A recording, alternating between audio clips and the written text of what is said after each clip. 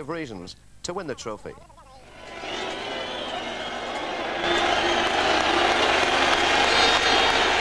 So the teams emerge from the tunnel into the sunshine here at the Oval to a tremendous reception for this 114th Irish Cup final. A big day out for the fans, of course, and both sets of supporters wondering, will it be our day?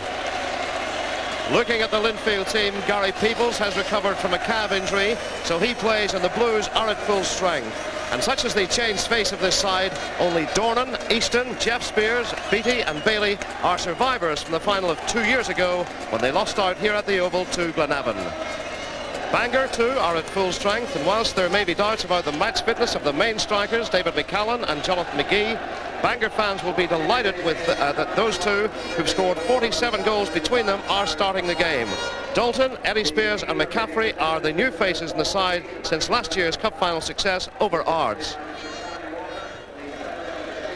And what a great spectacle it is on this Saturday, May the 7th. Glad to say the sun is shining. And as always, the oval pitch looking in immaculate condition. By the keeper again, Haylock did well. There's the header from Fenlon, blocked by Brown. Beattie takes it, curls it in. Oh, it's 1-0. It's Peebles. Up goes the shirt.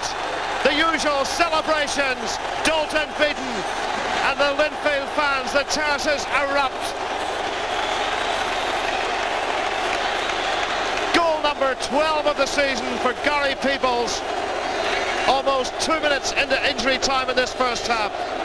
The corner from Beattie and Peebles so dangerous in these situations. Find the mark.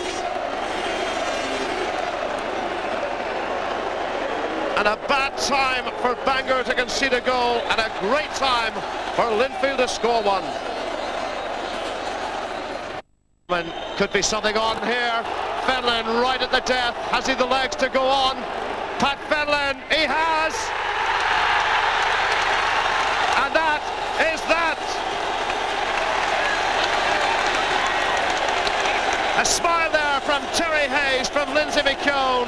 The oval erupts. The Linfield fans go crazy. And it's all over now.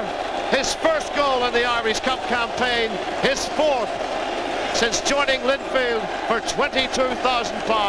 Oh yes, he enjoyed the moment. So did they.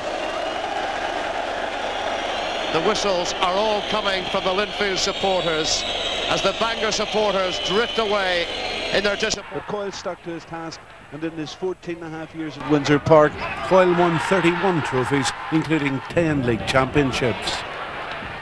I thought at the beginning, to be honest with you, that Roy Coyle...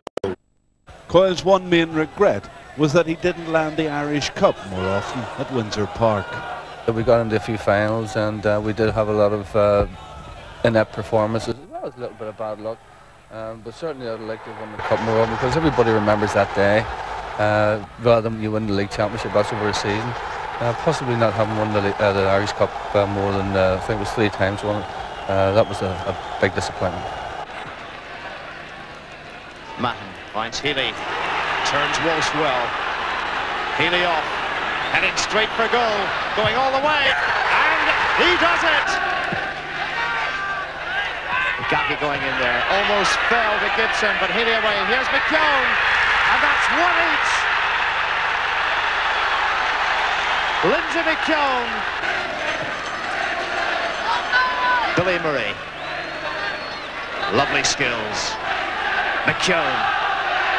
In goes Rafferty. Out comes McGee. McGee wins, but only just. McKee off Rafferty. McKee again. And it's a penalty kick.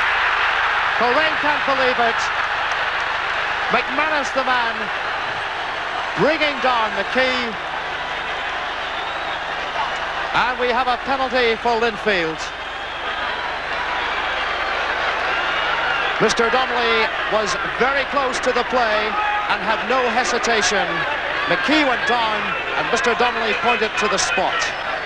So for Vince McGee and Coleraine, it's all turned round. One up. Now it's one each. Over six minutes left. Murray, and he makes no mistake. 2-1, Linfield. and Billy Murray, who just recently scored a hat-trick of penalties in an Irish League game. Mr Donnelly having a look at his watch, and that is it. Linfield have won the Irish Cup for the 33rd time.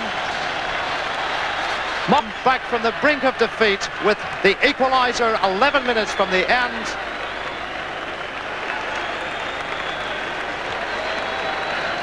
And then Billy Murray was the man who stepped up to knock in the penalty